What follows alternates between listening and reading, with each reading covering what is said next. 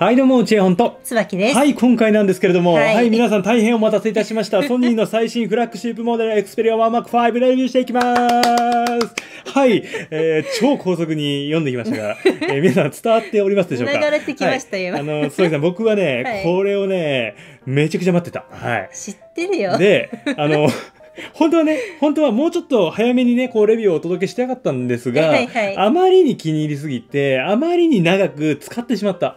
はい。もうね、使い倒した。使い倒した。はい。だから約2週間ほど、あの、じっくり使ってきました。なので今回は、この Xperia 1 Mark 5を僕が使った感想を含めつつ、えデザインだったりとかゲーム動作、カメラ、スピーカーなどをもう徹底的にチェックしていきます。はい。はい。もうあの、いどんなスマホになってるかどうかっていうのはもうこの動画見ていただければ分かってもらいます。今年は来てるぞ。それでは行ってみましょうそれでは早速デザインからチェックしていきたいと思います。はいえー今回ですね、Xperia 1 Mark 5、これが左側です。うんえー右側が Xperia 1 Mark 4、まあ、比1 Mark 4較にちょっと並べてみました。似てるねはい。全面デザインはね、もうパッと見、正直わかんない。わかんない。はい。で、ディスプレイサイズなんですけれども、引き続き6.5インチの 4K× 有機 EL ディスプレイを採用しております。同じ。はい。で、リフレッシュレートは最大 120Hz 駆動となっておりまして、うんえー Xperia のこの1シリーズって本当にあのディスプレイがすごく綺麗で、えー画面の発色とか色味、あのなんか引き込まれる感じがありますよね。繊あの細で綺麗だよね。そうなんだよね。鮮やかで、あの、美しいディスプレイとなっております。で、えー屋外の直射日光下でも、あの、十分見やすくなっておりまして、えー過去のね、エクスペリア 1M3 とか 1M2 とかから比べると、えーかなり明るく見えるようになってます。1M4 と比べると、このあたりはほぼ同等と言っていいのかなと思います。そもそもね、1M3 から 1M4 でかなり明るくなったので、えーそれを引き続き採用しているという感じになっております。うんはい。で、えー今回ですね、1 Mark 5、引き続きフラットディスプレイを採用しておりまして、えー Gorilla Glass Victus 2。あ、強いやつはまあ。強いやつを採用してます。はいはいはい。で、あの、まあ、これ、 Xperia シリーズの特徴なんですけれども、うんえー上部にインカメラを備えております。で、えー上下に黒ベゼルを、はい、採用しておりまして、ノッチとかパンチホールじゃないっていうところが、やっぱこの Xperia シリーズの良さですかね。で、今回ですね、もう一つ、えー注目してほしいのが、えー実はですね、エクスペリア 1M4 の時に、右上、LED 通知ランプが搭載されていたんですけれども、はいそのあたりですね。はい、そこにあったんですが、今回エクスペリア 1M5 ではこれが廃止となっております。あ、なくなったんだ。はい、なくなりました。で、これ、あの、開発者の方に聞いたところ、いろいろ理由はあるみたいなんですけど、うんどうもバッテリー持ちとかにもちょっと影響するみたいで、まあ、あの、今回は廃止に、えーなったようです。はい、まあ、それがあくまで一つの理由だったりするみたいなんですけど、まあ、そういう感じで今回は見送られたという感じですね。だからこう、寂しい人いるかもしれそう、ないですね。LED 通知ランプって結構ね、レアだよね。割とね、そう、最近はレアで、まあ、結構ニッチな需要が僕はあると思ってるので、これは結構残念に感じる方もいらっしゃるのかなと思います。ここでちょっと注意してください。はい。続いて側面をチェックしていきたいと思います。はいまず右側面からちょっとチェックしていきたいんですけど、その前にね、先にちょっとチェックしておきたいのが、このフレームの、あのーちょっとこの波打つような、この加工、独自加工が施されております。あ、すごい。はい、エクスペリアプロ i とかをね、えーご存知の方は、あれ？これもしかしたら似てるかなって思われる方、あの、いらっしゃるかと思います。うんあのーうんそうですね、似てると僕も思います。で、実際、えーさらにそれを細かく、もっと細かくラインを入れたっていう感じですね。なんかこう、握った時にそう噛みやすい感じ？そう、グリップ感がこれめちゃくちゃ上がるのよ。うんあの、もちろん見た目もすごくかっこよくなってるんですけど、それ以上に実際使ってて、なんか落としにくくなった。ああ、はいそっか。エクスペリア 1M4 ってフラットでね、これはこれですごいかっこいいんだよ。これはルスル感もうんいいけどね。これはすごくいいんだけど、やっぱりあの、ワンマーク4の時ってこのスルスル感だからこその、まあちょっとなんだろう、滑り、滑りやすいって言ったらあれだけど、まあ、比べたらね。ね、比べたらね、そう、うん比べたらちょっと違うかなと思います。まあそんな感じでね、加工の違いがあったりします。で、えー、右側にはですね、音量ボタン、電源ボタン一体型の指紋認証センサー、これ引き続き搭載です。で、その下にシャッターボタンを搭載しております。え次にですね、えー、下部側面なんですけれども、えー、SIM スロット、マイク、タイプ C コネクタを備えております。うん。はい。えー勘のいい方はもう気づいていらっしゃるかと思いますが、えー側面にはスピーカーは搭載されておりません。前面にフルステージステレオスピーカーを、あ、はい、搭載しております。気になるも。はい、音ね、あのね、だいぶ変わったぞ。嘘。はい。なので、まあ、あの、そのあたりはね、ちょっと後ほど音については確認していきます。はい。えー左側には特に何もありません。はい。じゃあ続いて、えー上部なんですけれども、えー上部には、えーマイクとイヤホンジャックが搭載されております。うんはい。まあこんな感じのね、えー側面になっているんですけども、イヤホンジャックちゃんと引き続き搭載されてるってところも、やっぱポイント高いのかなと思います。もう本当にね、ハイエンド、えーシリーズって、どんどんイヤホンジャック廃止されておりますので、確かにねはい。ちゃんと残っております。そういったところも魅力です。それでは次にですね、背面デザインをおチェックしていきたいと思います。はい。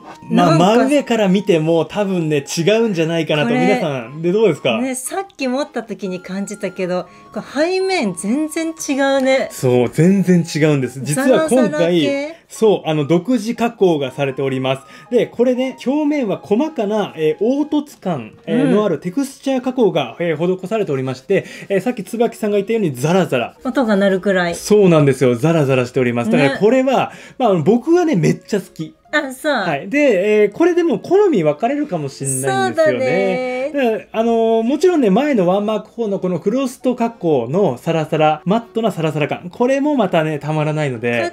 私が好きかも。あーまあ、椿さんはそういうことでね。まあ、そういう、これはやっぱ好みもあったりします。はいで、どうやらですね、今回、フロスト加工されたガラスをえー削り込んで、この質感にえーしてるみたいなんですよね。あさらにってこと？そう、この技術よ。たまらんでしょ。この、元は、こう、あの、ワンマーク4と同じサラサラしてたんだよ。あ、そうなんだ。そうそう、それを削り込んで、こうなってる。はい、っていう感じなので、まあそういったところもね、ぜひ、あの、皆さん実機、あの、出てくると思いますので、えー試しにね、触ってみてください。もう全然違う。で、えー今回ですね、一応ガラス素材はゴリラガラスビクタスを採用しているとのことです。うんで、えー今回ですね、えーレビューしているのはプラチナシルバーっていうカラーなんですけれども、はいえー全部でワンマーク53種類カラーがあります。えーブラック、プラチナシルバー、カーキグリーンのこの3色展開で、うんうんカーキグリーンについてはシムフリーモデル限定となっております。おお、そうなんだ。まあそんな感じでね、まあ、あのね、マジでこれ実機見たんだけど、あの、めちゃくちゃどの色もいい。決めきれない。もうずっと僕は迷ってて、はいずっと迷ってどういうこと？まあ、ずっと、おまあ借りしたからいいじゃない、はいお借りした、お借りしたんだね。うん。ずっと迷ってました。はい。ええうん。うん？ぜひね、皆さん、本当にこれ、マジで実機見てほしい。はい。ダメだぞで、ちなみにあの、プラチナシルバーは指紋とかホコリがね、かなり目立ちにくくなってるので、あそういったところも、えー魅力かなと。でもこれ思いますね色に限らずもうこの加工だから指紋ってあんまり目立たないよね。多分ね、目立たないんじゃないかなと思いますね。うんで、えーちなみにあの、背面デザインなんですけれども、ちょっとあの、質感にめちゃくちゃ触れてしまって、はいはい一応配置的なところで言うと、うん左上にトリプルレンズカメラを搭載しております。うん引き続きカール 2S レンズを採用。あとは中央にソニーロゴ、下部にエクスペリアと刻まれております。それでは続いて、重さとか持ちやすさについても触れていきたいんですけれども、うんえーエクスペリア1 m 5のこれいいところがやっぱ軽いんですよね。最近のハイエンドってどんどんまあか重くなってて 200g 超えってザラにあるんですけど確かに、はい、ワンマーク5って 187g なんですよ。まあね、椿さんからしたら、まあちょっと重いって思うかもしれないけど、これがいかに難しいことか。そうか、はい。で、バッテリー容量も、えー 5000mAh と、えー変わらず大容量を搭載しております。で、持ちやすさについてはどうですか？うん基本変わらない気がするんだけど、でもちょっとこっちの方が厚い感じがする分厚い感じ？あ、加工の感じかな？あそうかなああー、そうかもしれなんかねないですね。分厚く感じる、まあ、あの、厚さ的にはね、まあ、ほとんど変わってないんですよね、実は。あそうなんだそうそう、本当にわずかっていう感じなので、まあ、あおの、ー気持ち程度。なるほどね、はい。どちらかというと、その、握った感触がやっぱり違うし、グリップ感があるのかな？あの、僕使っててね、この2週間ほど使うと、うんもうやっぱワンマーク戻れないぐらい、あそう？この、なんだろうな、ほんと、裸で使いたい。このワンマークそうだね5は、本当に、あの、落とす心配がほ、マジでなくなったって感じ。ややっぱこう、グリップ感がすごいあって、ね、横も後ろもそうそうそう。横幅も引き続き、まあ、ちょうどいい感じになってるので、僕はすごい使いやすいなって思ってます。まあ、縦長ね、えーディスプレイなので、ねやっぱ片手で全て完結するってちょっと難しい。やっぱ上部がね、届かないので、それは難しいんだけど、個人的にはまあ、縦長も結構気に入っております。ツイッターとかしやすいんですよね。ネット検索とか。縦に長いんで、情報量もね、いっぱい表示される。縦だからこそのツイッターのしやすさ。あとはもう。手はいの大きさ次第ですね。あまあそうだね私だとちょっと重心が上に感じるかなっていうところもあるし。あまあそれはありますね。うんなんでこのあたりはまあ本当に人によってね感じ方が違ってくると思いますので可能であればねぜひまあ一度ね手に取ってもらえるのがいいのかなと思います。ちなみに僕が持つとこんな感じですね。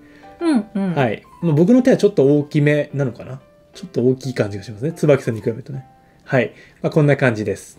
それではここからはですね、スペックや動作をチェックしていきたいと思います。まあ、はい一番気になるところだと思います。そうだねはい。で、えー CPU については、今回 OneMark5 はスナップドラゴン8 Gen 2を搭載しております。新しいやつだ。新しい最新のチップになっておりまして、この8 Gen 2がマジでいい。マジでいいです。あ、そう。はい、マジでいい。で、ワンマク4は8 Gen 1だったので、当時のまあ最新のね、チップだったんですけれども、うんうんまあ、ここは単純にスペックアップしてる部分、あのね、出来的にもやっぱり、やっぱり今年の8 Gen 2って本当にいいのよ。あ、そうなんじゃあ、こっちの方が動作が、まあ、正直僕は良かった。と思いますね。はい。まあ、後ほどね、まあ、どのぐらい良かったっていうところをね、まあ、あの、ゲームとかでもチェックしていきます。はいで、メモリとストレージについては去年のね、ワンマーク4と同じで、キャリア版が 12GB の 256GB、えー、SIM フリーモデルが 16GB の 512GB モデルとなっておりまして、まあ、あの、SIM フリーモデルのがより大容量という感じになっております。はい。まあ、あの、やっぱりメモリはね、多ければ多い方がいいし、ストレージは多ければ多い方がロマンを感じつつ、あの、写真とか動画もね、いっぱい保存できますので、ねはい、そういったところも魅力かでも SD カードも入るからいいいいよね。ところを気づいていただきました。はい、今年もですね、ワンマーク5、えー SD カード対応しております。はい、もうあのね、やっぱハイエンドモデルはね、本当にどんどん廃止されておりますので、うんこういったところ残っておるのはいいところかなと思います。はいで、押さえ携帯もちろん対応しておりますし、防水、防塵も、えー対応しております。うんはい、IP68 となっておりますので、そういったところも安心ポイントとなっております。えーそれではですね、ここからは、えー動作をチェックしていきたいと思います。じゃあ、まずはスワイプです。ここはそんなに感じないかな。はい、まあさすがに、どっちも快適です。がにですね。はい。そしてアプリの開閉です。これもはい、そうですね。わからないけど快適ですよまあ、これもね、わからないですね。あのね、正直ちょっと触ったぐらいだと、もうあの、うん全然どっちも快適です。ねはい。で、スクロールもこんな感じ。あスクロールなんか違くない？なんかちょっとあ確かに、えースクロールちょっと違いますね。まあ、よりね滑らかなのはワンマーク5ですね。あ、これちょっと意外でした。えー、ね滑らかなんですね。ねなんかちょっとまあ確かに確かに。ああー確かに確かに。あ、ここ結構違うんですね。ねはい、まあこんな感じの違いがあります。まあとはいえ、とはいえですよね。まあとはいえ、ワンマーク4もまあ、まあ気になるほどではない。比べたらの話かな。うん比べたらだね、で、えーまあ、これね、まあ、何が違ってくるのかっていうと、はいちょっとね、ゲームとかを試すと、もう、もろに違いが出てきます。あそうなの、はい。えー今回ですね、早速、あの、原神をちょっと試してみましたので、はいえーどうぞ。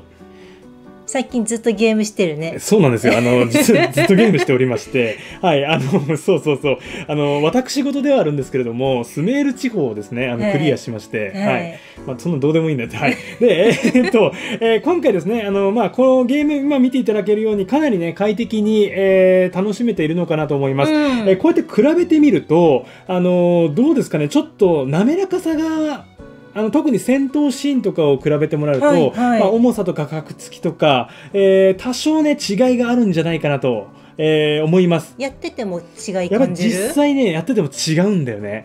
はい、で、えー特に違いが出るのはやっぱりちょっと長めに遊んでる時うんあ徐々にワンマーク4の方がやっぱり動作が重くなってきて格付きが多くなってきます。はい。で、えー今回ですね、平均フレームレートっていうのをちょっと調べてみたんですけれども、あの、最高画質プラス 60fps で15分間計測したところ、Xperia One Mark 5では平均、えー 48fps、うんはい。で、えー Xperia One Mark 4だと 41.1fps、はい。あおの、結構差があるんですよね。確かにまあ、より安定感あるのはやっぱりワンマーク5という感じになってます。だからもうゲームをやりたいなら、もう絶対にワンマーク5の方がいい。はい、僕はもうこれ間違いないと思ってて、そうなんだ、はい、どっちがゲームに向いてますかって言われたら、僕はワンマーク5を押します。うんはい、もうそれぐらい違う。で、えさらに違うのは、これもうあくまで僕の趣味、趣味の領域でちょっとたやってしまったんですけど、はいはい。あの僕ゲーミングギアっていうのをあの買いまして、え何エクスペゲーミングあギア？のそうあのゲーミングギアって多分知らない人聞いたことないかもしれないですけどあの Xperia One Mark 4向けにねちょっと前に発売されてでそれがあの Xperia One Mark 5でも使えるんですけどそれを僕え？あの買っておりまして、まあ、値段はちょっとテロップしておきます。ちょっと危ないので。なんで？なんで？値段ちょっと危ないのでテロップ危ないのでテロップしておきますどういうこと？はいで、えーそれをあの自腹で買いました。で、えーこれなんですけどもこれをねつけれるのよこのこれあれじゃん、うんあの熱逃がすやつだそう、あの、えっとね、これ、冷却できる、ね、空冷式の、はい。ゲーミングギアって高やつ。いんだはい、いやいや、あの、テロップ出しておきます。はい。で、えーっとね、そうそうそう。なかなかファンの音がするんだねなかなかかします。あの、もうこれ全力なんで。もうあのゲームゲームをする人のためのアイテムなんで、まあ、その辺も気にならない。あのある程度ファンの音はもう気にならない。あまあ、そんなことよりも、うん。えこれをねこうつけてこう原神をするとマジで快適。えワンマーク5にゲーミングギアをつけると、えー平均 58.6fps えめちゃめちゃ上がはい、ったよ、めちゃくちゃ上がります。もうほぼ 60fps に張り付き状態。だから、これ、あの、60fps に張り付くと何がいいって、うんもうあの戦闘シーンとかでもうほとんど格付きが起きない。滑らかにこう、常にヌルヌルで楽しめる。マジ快適。はい。マジ快適。で、えーワンマーク4、えでちなみに、あの、さっきも言った通り、このゲーミングギアってワンマーク4にもつけれる。もちろんワンマーク4にもつけれるんですけど、うんめっちゃ違うんだねでもこの2つでもうこの2つで全然違うの。なんで、まああのもうね、まああの僕がこう言わなくても、もう数値で出てるんですけど、えゲームをガチで楽しみたい人は、ワンマーク5にこのゲーミングギアを買ってください。はい、このテロップ出してください。はい。で、まあそういったね、あのーまあっていうところおまけでちょっと、まあ僕のこれあくまで趣味の領域なんですけれども、原神を4時間ぶっ続けでやってもずっと快適に遊べるよっていうこと。4時間やったの？4時間ぶっとにかく原神を快適にやりたかったから、まあ今回はこのゲーミングギアを、えー購入させていただきました。4時間できたらしいですよ、はい、あの非常に快適に楽しめますので、まあ本当ガチ勢の方はね、この組み合わせがいいのかなと思いました。えーちなみに発熱についてなんですけど、はいはいえー今回ね、この Xperia 1 Mark 5プラスゲーミングギア、えーだと、まあ発熱はまあ全く気にならないんですけど、うんえー単体はじゃあどうなんだっていうところで、えー単体についてもちょっと調べてみたんですが、1 Mark 5を30分ね、えー原神を、えー3回ちょっと楽しんでみました。はい。えー30分終わった後の1回目が39度、えー2回目が40.9度、3回目が41度、うんはい。これが終了時の各温度なんですけれども、うんまあ、結構やっぱ発熱抑えられてるのかなと思います。ちなみに Xperia 1 Mark 4だと30分のプレイ後の本体温度が44.4度だったので、うんえーまあ発熱温度だけ見るとそれほど違わないかなって思うかもしんないんだけど、実は大きく違うことがあって、何？あの、終わった直後、あの、リフレッシュレートの低下が今回ワンマーク5ない。で、ワンマーク4は、えー低下して、えー 60Hz 駆動になっちゃうんですよね。そう、リフレッシュレートが低下しちゃうの。ゲームやめて普通に使う時ってこと、そうそうそうそう。あの、うんリフレッシュレートのその温度上昇による制限がかかっちゃって、ワンマーク4だと、あの、ゲーム直後ってちょっと快適じゃなくなっちゃうんだね。うそれが今回ワンマーク5では全く見られない。3回とも見られず。いろいろあるんだねそう。なので、まあ、発熱対策はかなり今回しっかりされている。はい。なので、えー今回はね、あの、Xperia 1 Mark 5 8 Gen 2を搭載プラス、えー熱拡散シートっていうのがより大型化されてるみたいなんですけれども、それがしっかり効果出てるのかなと。うんまあ、そんな一台となっております。まあ、気になっている方はね、ぜひ参考にしてみてください。それではここからは生体認証についてチェックしていきたいと思います。はい Xperia 1 Mark 5引き続き、えー指紋認証指紋認証、対応で、えー顔認証には非対応となっております。うんまあ、ここが、まあ、個人的には惜しいなと思う反面、セキュリティとかを考慮すると、今回 1M5 では残念ながら顔認証は非対応となってるみたいですね。はいじゃあ、あの、精度とか、えー早速指紋認証を試していきたいと思います。はいえー、Xperia 1M5 引き続きですね、側面電源ボタン一体型の指紋認証センサーを搭載しております。で、押し込み式、えー指紋認証にも対応しておりますのでえー誤動作がなくなる。触れただけで開かなくそって押し込んだら開くやつねそうそうそうそう。で、それはオンオフできるので、まあもちろんね、あの、押し込まずタッチだけでこう、解除したいよっていう人は、それを使ってもいいし、うんうんあの、誤動作を防ぎたいって人は、えー押し込み指紋認証をオンにして使うのがいいのかなと思います。もう全然違うので。なるほどねはい。じゃあちょっと指紋認証精度試していきたいと思います。はいせーの、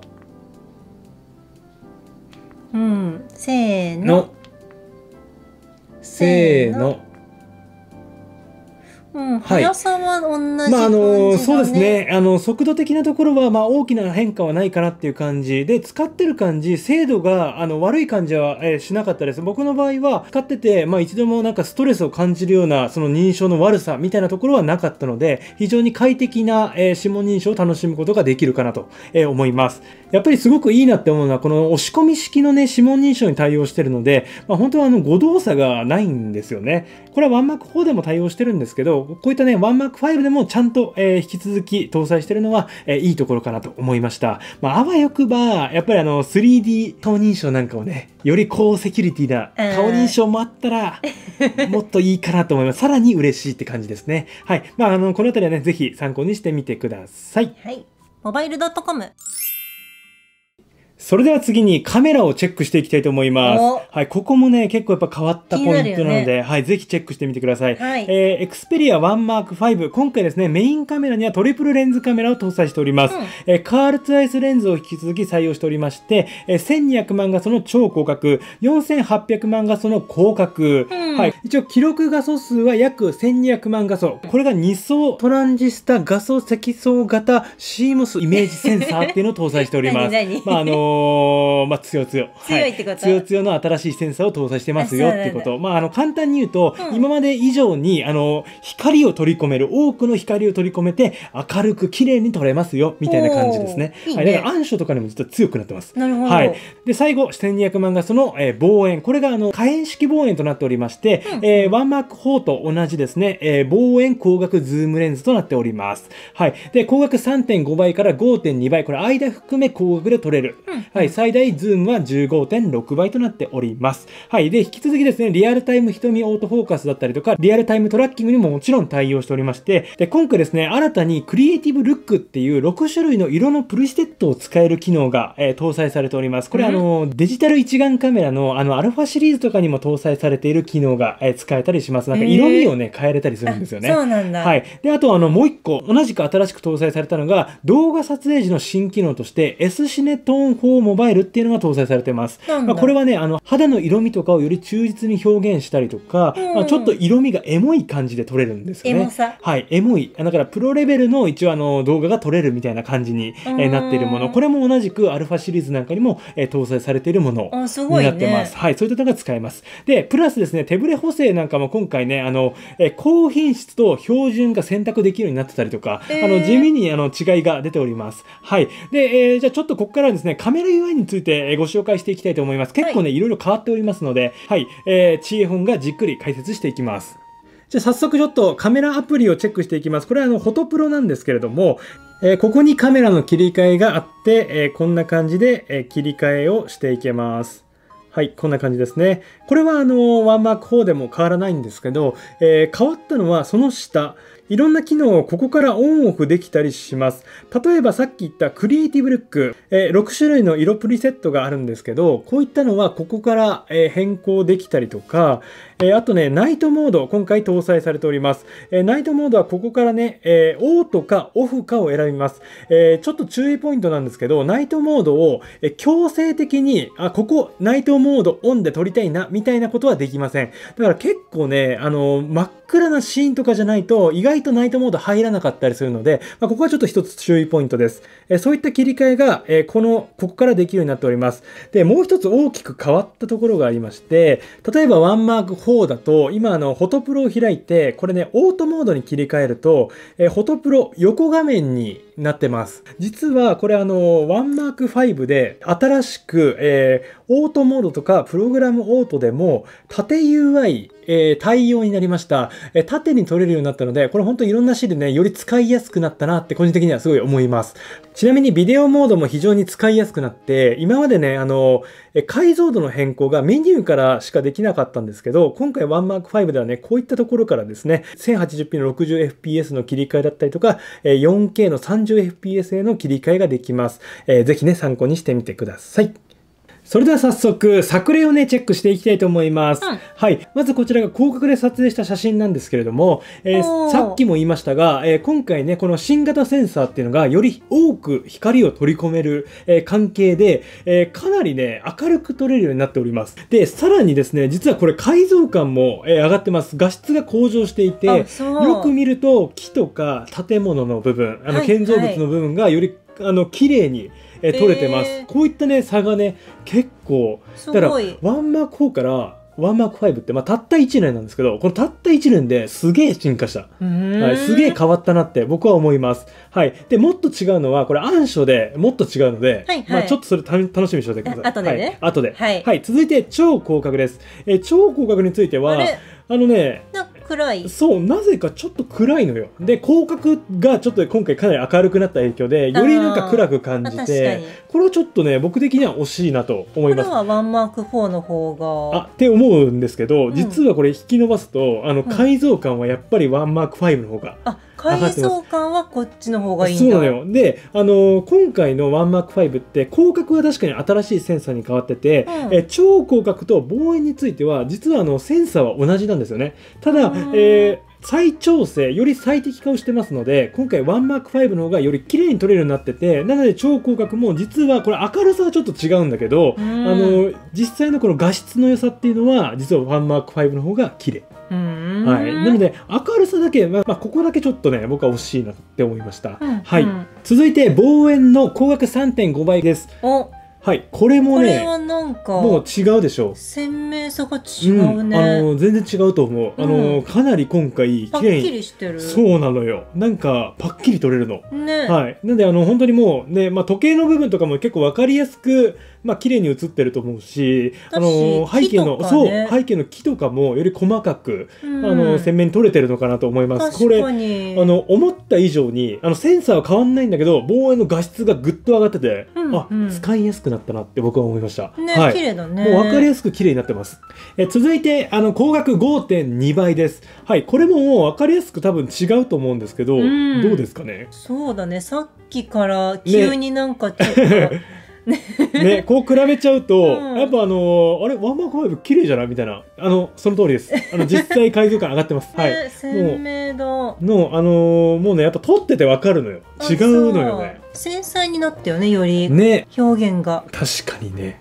うん、あの、本当に綺麗に撮れるようになってる、うんはい、感じがします。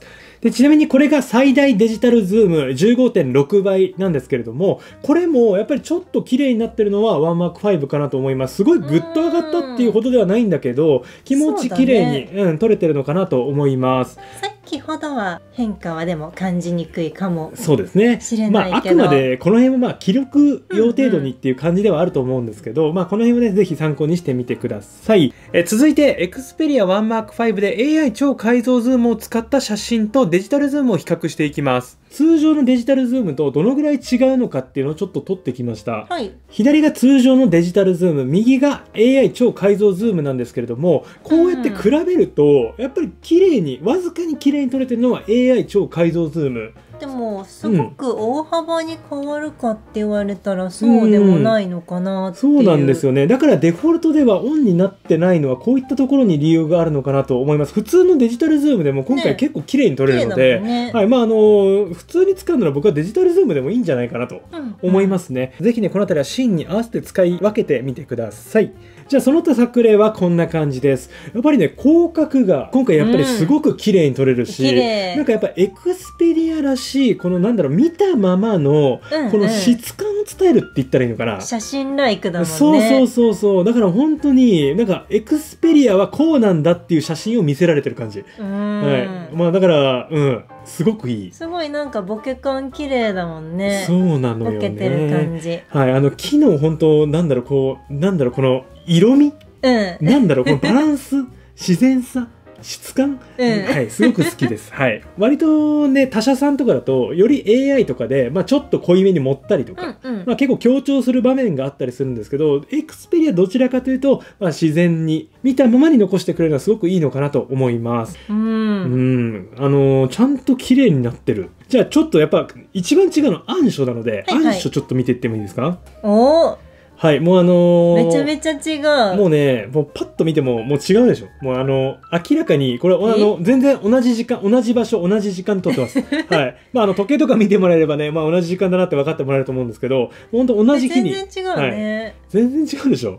はい。今までの、急にやっぱ、明るくなった。そう、急に明るくなったのよ。お今までのエクスペリアだと、やっぱりちょっと、こう、ある程度光量がある場面であれば、まあ、そこそこ綺麗に撮れてたんだけど、うんうん。極端にこうね僕が今撮っている公園なんかはもう本当に暗いのよ。でも今回のこのワンマーク5っていうのはナイトモード使わずにもうここまであ明るくそうなんだ、はい、撮れちゃいます。でこれがオフなんですけどナイトモードがオンになってる状態で撮った写真がこちらえオフで撮った時とオートで、え撮った時ちょっとと差があるのが分かってもらえるかなと思います。特にフレアとかうん。が、あの気持ちやっぱちょっと抑えられている、うん。はい、感じがしてると思います。よりあのナイトモードそうだね。だからより本当に暗いシーンだとこのナイトモードが生きてくるのかなっていう感じ。今までよりも撮れるシーンの幅が格段にあの広がった感じがしました。うん。やっぱあのーうん、単純に、なんだろう、スマホカメラとして使いやすくなったって言ったらいいのかな。うん。あ、こういうところでもうちょっとこう明るく撮れたらな、みたいなのがあったんだけど、うんまあよりこの Xperia 1 Mark V はそこに応えてくれたっていう感じがします。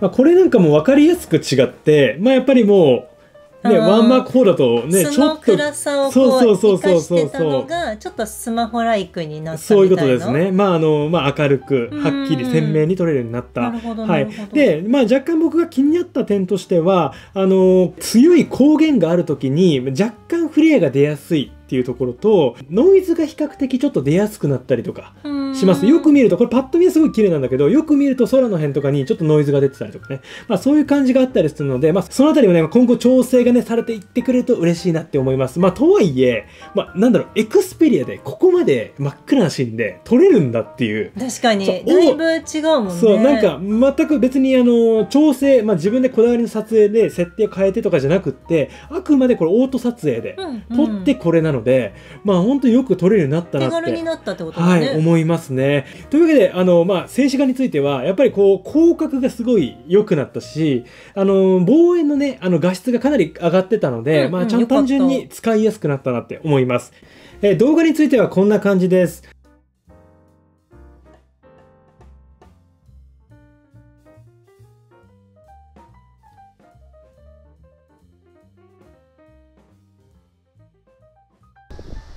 1080p60fps で撮影をしています。声の入りだったりとか、あとは手ブレ補正ですね。聞いてますかねどうでしょうか結構ね、ワンマン5の方が明るく撮れてるような気がします。ちょっと走ります。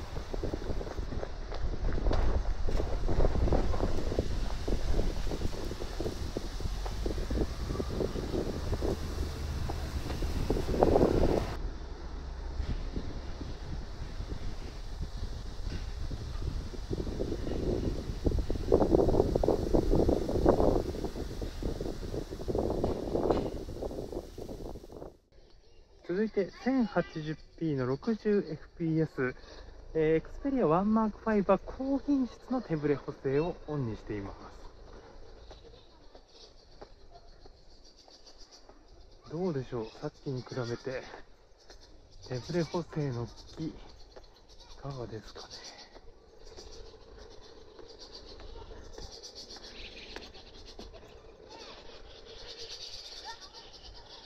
えー 1080p の 60fps で今回撮影をしてみたんですけれども、うんやっぱり今回ね、より明るく撮れてるかなっていう感じがします。ねで、ただあの、ちょっと気になったというか、まああの、手ブレ補正については、なんか劇的になんかすごい進化したなっていうところまではいかないのかなって感じました。あんま変わんない感じはそう、あの、もちろんね、ワンマーク4の時にすでにあの、結構滑らかにね、うん撮れるようになってたのであれなんですけど、まあ、今回については、あの、大きな進化ってところはなかったのかなって思います。で、ちなみにあの、今回 Xperia 1 Mark 5手ブレ補正が2つ選択できるようになっていて、1つが高品質、もう1つが標準っていうのがあって、あの、それぞれちょっと取り比べてみました。こんな感じです。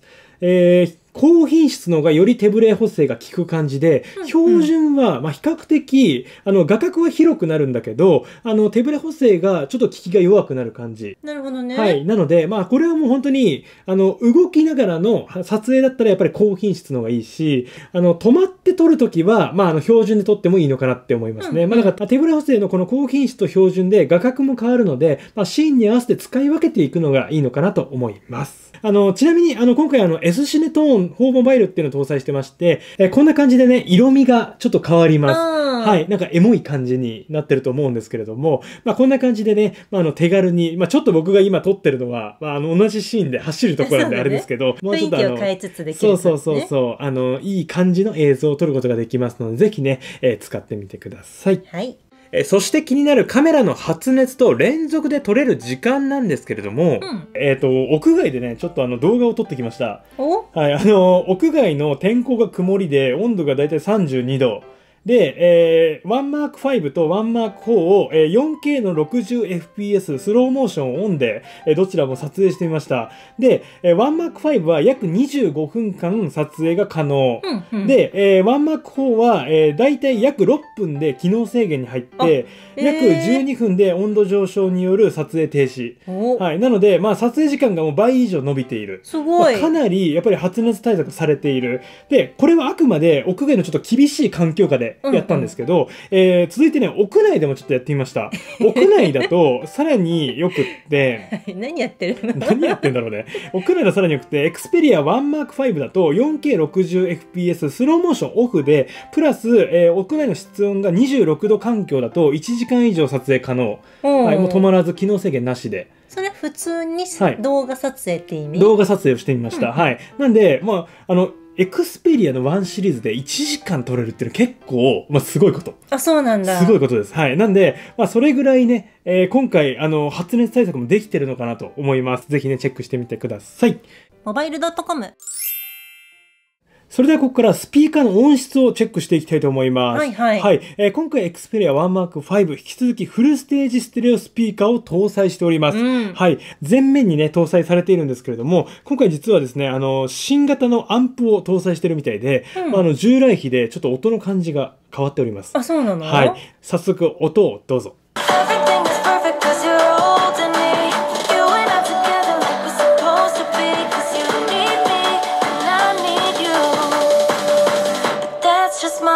Point of view.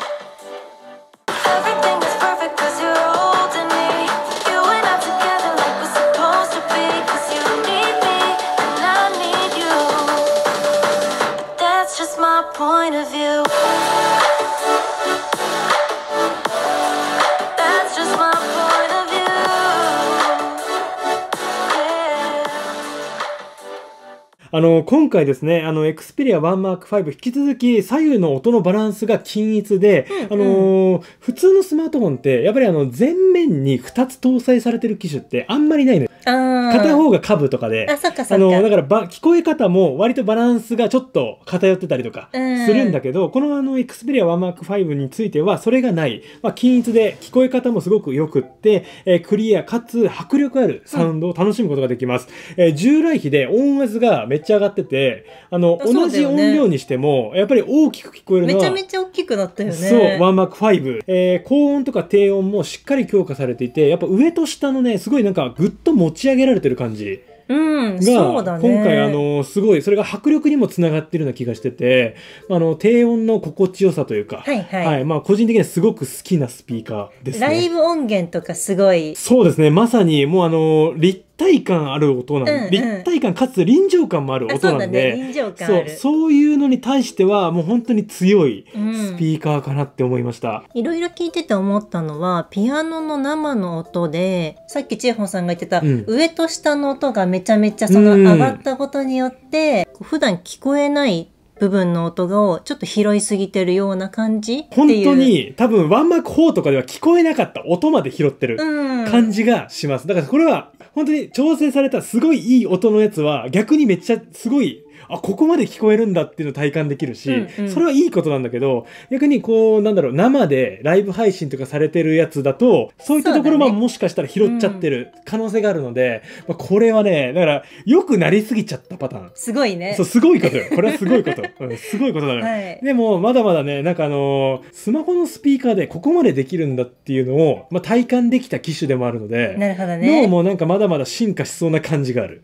来年も楽しみだなと思います。個人的にはすごいこのワンマーク5の、うんえースピーカーとても気に入っておりまして、うん、ワンマーク4よりも僕は好き。おはい。です。特にライブとかをよく、うんライブの映像と音源を、あの、映像で見るので、うん。すごくね、好き。やっぱ迫力、ねそう。だから立体感がやっぱ違うのよね。臨場感あったもんね。全然違う。うん。なんで、その辺が、あの、好きな人は、ね、ぜひ、一回試してほしいなと思います。ちなみに、背面の共振についてなんですけど、本当に大きい音にして、えー聞かない限りは、まあ、気にならないかなと思います。なので、その辺もね、安心して、えー楽しめるスピーカーなのかなと思います。ぜひね、チェックしてみてください。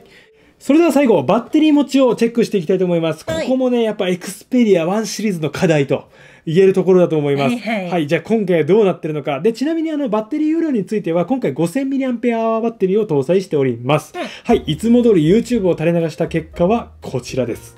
えー100%から3時間経過で80%となっておりまして、うん。えーこれ他の機種と比較すると 1Mac4 がえー100からえー3時間経過で78%、えー 1Mac3 が70%だったんで、まあ、単純に、えー、1Mac4 からもちょっと良くなってるし、なるほど。まあ、1Mac3 から見るともうだいぶ良くなってると いう感じですね。で、この1シリーズのやっぱ特徴というか、まああのなんか試していて思ったのは、やっぱり 4K× 有機 EL なんで、映像の時にちょっと消費電力が大きめなんですよね、動画視聴の時。そうなんだ。はい、だからその傾向があるので、やっぱちょっと動画視聴時はこうやってあのバッテリーの減りが、えー早いのかなって思います。例えばね、ここに出ている 5M4 なんかはあの 4K ではないのでね。ああ、そうそうそう。そうなんだ。だからあのちょっとバッテリー持ちがね良かったりするのかなって、えーちょっと思いました。まあ実際のところはちょっとわかんないんだけど、はいやそうい、1シリーズはあのどちらかというと動画視聴の時にバッテリー消費がより早くなる傾向にあるのかなって思います。で、えーさらにですね、じっくり、まあ、使い込んでどうだったのかっていうのを検証してみました。こちらです。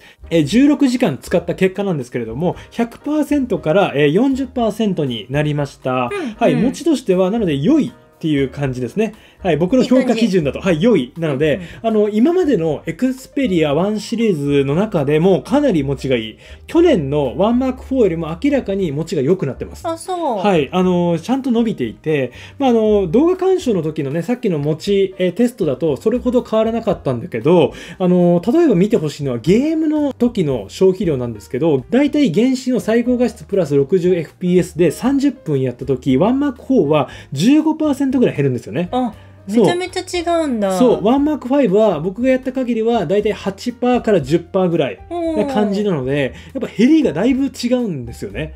そういったところで今回だいぶ抑えられていて、あの、持ちが改善しているのかなという感じがしました。なので、まあ僕の使い方であれば少なくとも1日は余裕。うんうん。。はいい、です。で、えーまあ使い方として、例えば動画をめちゃくちゃ長時間1日の中で見ますって人は物足りないって感じる場合がやっぱあるかも。うん。やっぱり動画をね、これだけちょっとバッテリーのね、えー減りを比べてると、動画はちょっとやっぱ減りが早い感じがしてるので、なまあ、そこは注意かなって思います。ただネット検索とか、まあ、ツイッターとかをやる分には、まあ、十分、まあ、少なくともライトユーザーの方であれば1日は、まあ、持ってくれるかなっていう印象。で、もちろん今回はね、えーリフレッシュレート 120Hz 駆動を常時適用した状態で、えー計測しておりますので、うんまあ、あのーちゃんとね、うん、ちゃんと持つようになってる。すごい。はい、あの、改善してます。はい。まあ、これだけでも僕はすごいいいなと、えー思います。それでは最後、えー価格をチェックしていきます。はい、これはねになりますよ。非常に気になるところですね。はい。じゃあ価格どうなのか、えーこんな感じになっております。えー、Xperia One Mark 5、えードコモ21万8680円、au が21万240円と、えードコモ au 版ともにですね、20万円超えとなっております。超えちゃってる。超えております。あの、非常に高価な一台となっております。で、えーソフトバンク版なんですけれども、価格未定。未定はい。で、ソフトバンク版については、あの、専用のゲーミングギア、あの、僕がね、あの、さっきゲームのところで紹介しうんた、あれがセットでついてきます。あ、はいセットなんだ。だから、あの、ソフトバンクユーザーの方は、もう買えばセットでついてきます。はい。なので、ゲームを快適に楽しめるでも、っはいてことは高いっておそらくちょっこと高くなると思う。はい。で、えー直販モデル、あこれがいわゆる SIM フリーモデルなんですけれども、はいはいえー 16GB の 512GB モデルで、うんえー19万4700円。あれ？はい。あれ？安いんですよ。ちょっと待って今安いと思ったけど違う違う。あ、思ったでしょ思ったでしょちょ安い。あの、キャリアモデルより、あれ安いってなったでしょ？はい。でも、すごいね。はい、そうなんですよ。あの、実は、えーキャリアモデルよりも SIM フリーモデル版が安くなっておりますので、まあ僕のおすすめは、やっぱり直販のこの SIM フリーモデルかなって思います。やっぱうね、んメモリも多いし、ストレージも多い。確かに。はい、なので、やっぱお得感がすごいかなと思います。で、しかも SIM フリーモデルなら、あの、カーキグリーンなんかもね、あ、限定色ね。はい。まあ、とはいえね、各キャリア、まあ、あのうまくキャンペーンを駆使すれば、キャリアモデルもね、お安く買っていけるので、まあ、ぜひね、ちょっと価格が結構やっぱ高くなると思いますので、まあ、そういうのもちょっとうまく使いながら買っていくのがいいのかなと思います。あのちなみにワンマック4からはちょっと値上げですね。まあ、ただ。まあ、ちょ、ちょっとね、ただ、まあ、一つ、一つだけ、まあ、伝えたいのは、はいやっぱ、価格に対する進化はしてる。はい、これは僕は一つ伝えておきたいです。はい。で、発売日についてなんですけれども、えー、まだ出てないところもあるんですが、はいえー、au 版がね、今発売日確定しておりまして、6月の16日。はい。で、直販モデル、これ SIM フリーモデル版が、えー、7月の14日。はい。まあだからキャリアモデルの約1ヶ月遅れでそうだね SIM フリーモデル版が出るという感じ。で、おそらく au が16日だったら他も多分16に合わせてくるんじゃないかなって思うので、まああの、うんうんその辺で、えー発売されますので、予約も忘れずに。はい。まああの、気になる方はね、レビュー記事にも詳細詳しく書いておりますので、そちらからチェックしてみてください。はい。というわけでここまで Xperia 1 Mark 5レビューしてきました。いかがだったでしょうか？はい。まあ先行でね、ここまでえーレビューしてきたわけなんですけれども、まあ、楽しそうですね。いや、めちゃくちゃ楽しいよ。やっぱ、うん、やっぱね、すごい良かった。はい。すごい良かった。発表会の帰りから楽しかった。ねすごいもんね。そうだね。もうあの、興奮がね、収まりきらなくて、ずーっと椿さんにこう、何が良かったか語り尽くすみたいなね。はい。で、まああの、ワンマーク5僕が使って、えー良かったところと悪いところについて、ちょっとざっくりまとめておきました。まあこんな感じです。まあめちゃくちゃあるので、まああの、時間があるといいね。めちゃめちゃあるはい。あの、一旦この動画停止して見てもらった方がいいかなと思います。はい。まああのそう、記事、あまあそうですね。あの、URL、あの、動画に載載せておきますので、ぜひそちらから。はい。で、まああの、ざっくりちょっと、まあ良いところをピックアップすると、やっぱデザインがね、あの、特に背面のこの質感はもうめっちゃ好き僕。あの、ザラザラ感ね。あの、この独自加工。新しいね。はい、あのフロストガラスをさ削り込んでこの質感にするのあのもう変態よ。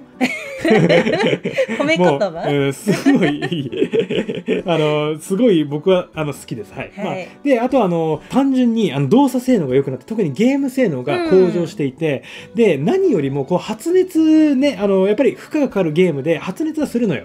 でした後が結構大事で、うん。今までのワンマーク4だとやっぱりどうしてもそのリフレッシュレートの制限が入ったりとか、うん。低下しててなんかちょっと使いづらいなってなってたんですけどそれが今回なくなってる。もうこれはねすごいいいよ。より快適に使えるようになった。そうなんだね。っていうところで、まあ、僕はすごくね個人的にいいなって思いました。でその他にもちろんあのカメラもね性能上がってて、はいはい。あの広角が本当に良くなってるし望遠の性能も向上してる。あとスピーカーなんかもかなり音がもう迫力が本当迫力と立体感。あれライブ映像マジでた見てほしい。本当に。あの全然違うから。はい。であとバッテリー持ちもね向上してる。そのあたりがすごく個人的には良かったです。で悪いところについてはまああのいくつかあるんだけど、はい。個人的に惜しいなって思ったのはナイトモードを強制オンにできない。まあ、これが、まあ、割とね、あのーね、まあ、もちろんね、自動で入ってくるのはいい。自分で選べたらさら選べたらに嬉しいってもっといいっ。ていうのと、うん。あとあの、ビデオプロで 4K の 60fps の撮影はできるんだけど、なぜかフォトプロではできないのよね。だから 4K の 60fps で撮るなら、ビデオプロを使わなくちゃいけなくて、なんか使い分けないといけない。そうそうそう、そこがちょっと不便かなと。思思いました。なるほどはい。だからその辺が、まあ、もうちょっと、えー使いやすさが向上すればもっと良くなるって感じが、えー個人的にはしました。まあ、この辺はね、ぜひ、えー実機とかに触れつつね、まああの、試してもらえるのがいいのかなって思いました。えーというわけでね、まあ、あの何が言いたいかっていうと、Xperia 1 Mark 5めっちゃ良かった。はい。ねすごいね。予約さし予約予約したい。はい。んいや借りてますからね。ありがとうごいざいます。はい。まあ、という感じで、だって、これあるしね、これ、これ。やこれはもうだからもうこれはもうダメ。ワンマーク5使えるし。これいくら？はいテロップで。はい。で、あの、まあ、そんな感じで、Xperia 1 Mark 5、まあ、非常に魅力的な機種になっておりますので、はいあの、ぜひね、皆さんも一度、あの、本当に Xperia シリーズのう、んあの、全部入りで、うん。ロマンを感じたい方はこれを買ってください。はい、これがおすすめです。はい。あの、ぜひね、あの、この動画が少しでもね、あの、参考になれば嬉しいです。で、今回動画で触れられなかったところも、えーレビュー記事で、えー紹介しておりますので、ぜひね、あの、動画概要欄からチェックしてみてください。えー今後もですね、Xperia の最新情報、最新機種のレビュー、ワンマーク5が欲しい。はい。レビューし、うん、レビューはしたけど、うん。使用感レビューとかももしかしたらしたい。でも実機が欲しい。はい。まあ、あの、お届けしていきますので、ぜひね、チャンネル登録よろしくお願いします。ますえ最後までご視聴いただき、誠にありがとうございました。それでは次回動画でお会いしましょう。じゃあねー。